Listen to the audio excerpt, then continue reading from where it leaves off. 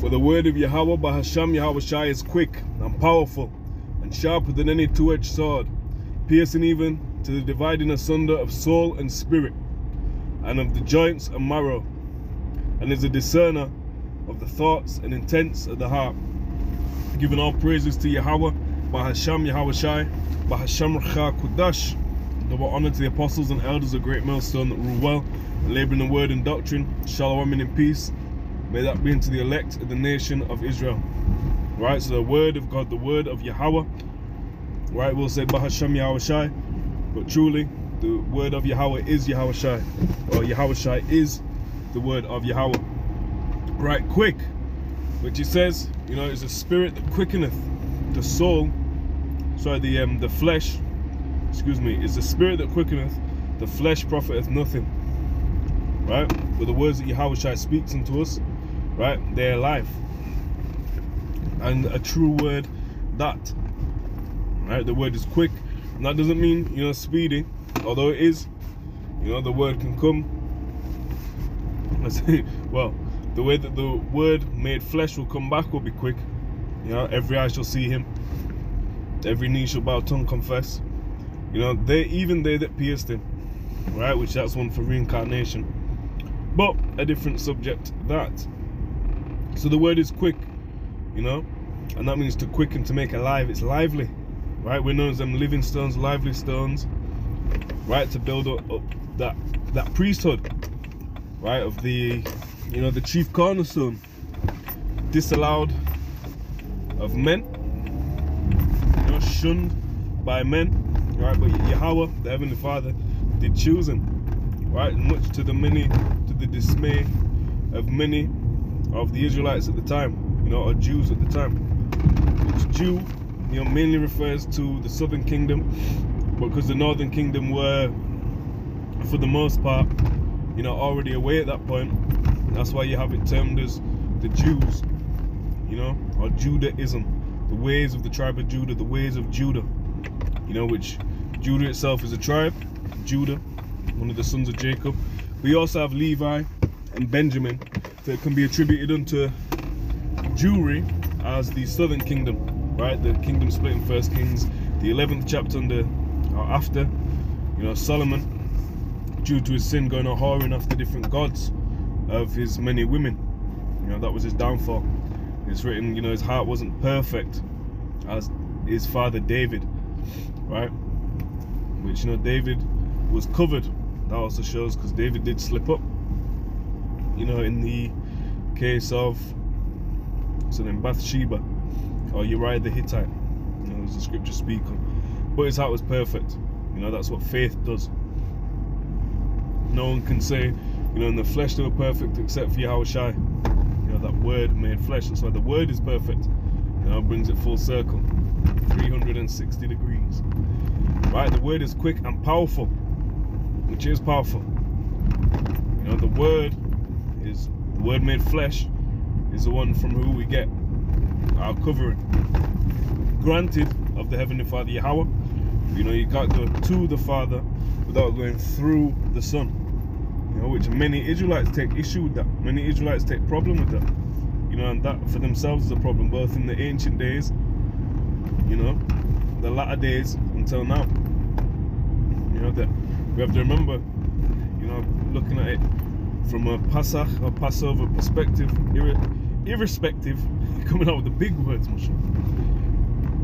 Irrespective, you know, not regarding or not looking to, not spectating upon the season of the year, although that is very important as us culturally, but at all times of year, should we be perceiving this word as Pesach, you know, Yahweh Shai is our Pesach, that's what's written, right? First Corinthians 5 and 7, and I'll read it verbatim or I'll quote it verbatim. As Christ, our Passover, is sacrificed for us, right? Hamashiach Pasach Noah, our Passover, right? Mashiach, the anointed one, is our Passover. He is who, you know, makes that intercession. He is the angel of death, literally. He's going to be our way out. And we're going to have a new Passover. Right? Jeremiah, I believe it's 23, verse 7. Jeremiah 16, verse 15. We will have a new Pesach, a new Passover. Right? No more shall the Lord be called great, which brought out the children of Israel out of the land of Egypt. You know, but the Lord will be praised, worshipped, have his name exalted for bringing the Israelites out of the land of the north and through those lands wherein they were scattered. Meaning what Jake is scattered everywhere. And the most important Passover, the most important Pesach is yet to come. You know, that new Passover. No more shall it be said, which is, you know, it's often quoted. Everyone knows about, you know, the, the Ten Commandments. Everyone with and without, you know, with and without this truth. You know, atheists have heard of the, they'll see it as a story, a fairy tale, or what have you. But the fame, the reputation of the God of the Hebrews, the God of the Israelites, right? We know him as Yahweh, the holy power, right? El Shaddai, terrible, demon-like power, right? Which brought great, brought, brought, excuse me, brought great death upon Egypt, brought great plagues upon Egypt. You know, Pharaoh could do nothing, his magicians could do nothing. And he could do nothing even if he wanted to have his heart eased. It, it was the Lord that hardened his heart. Let's not forget that. It was the Lord that hardened his heart. Excuse me. As true to the proverb, the king's heart is in the hand of Yahweh by Hashem Yahweh Shai. He turneth it whithersoever he will. Right? So it's about the will of Yahweh by Hashem Yahweh Shai. The will of the Heavenly Father Yahweh that gets exercised again, irrespective, right? Regardless. You know, it's written as not respected. He is quite literally irrespective. Okay? Irrespective. Without expectation, without looking upon who it is. No regard to persons. You know, and all of these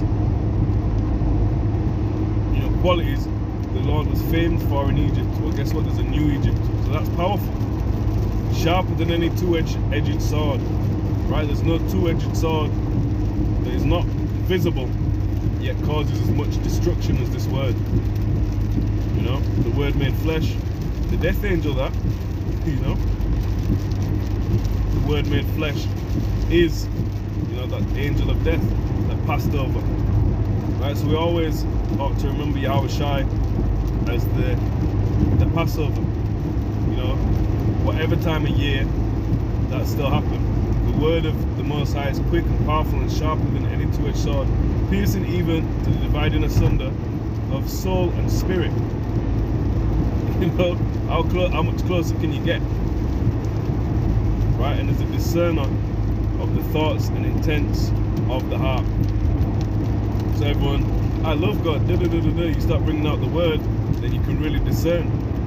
You'll really see how down people are for quote unquote God. Maybe they are. Maybe the God of this world. Not the God of Abraham, Isaac, and, ya and. No, Abraham, what is it? Yatizachak, I'm saying that correctly. And Yaakov, right? Not the God of the Hebrews, not the God of the Israelites. That's why it says try the spirit for many, you know, many deceivers, many false prophets, you know, many false spirits know, when someone says I'm spiritual, I'm into spirit. All right, try the spirits. Test what spirit in. But Satan's a spirit. Satan is a spirit. Yeah, you're very, you're very spiritual, but you're, you're incredibly. I've never seen a more spiritual man. But the spirit you're in, you know, a different spirit that. Right, so the word of the Most High is quick, powerful, and sharper than any two-edged sword let us not forget that. You know, all praises to Yahweh, Bahasham, Yahweh Shai, Bahasham Ruchak Dash. Again, double honor the apostles and elders of Great Millstone, rule well, and labor in the word and doctrine. Shalom. Kal Halal Yahweh, Bahasham, Yahweh Shai, Bahasham Ruchak Dash. Shalom.